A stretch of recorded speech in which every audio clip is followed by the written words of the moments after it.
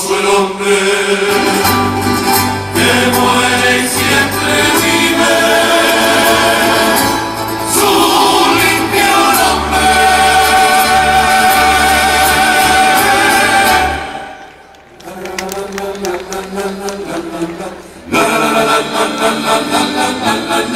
Cuando Dios mande, hemos de morir. Quijote.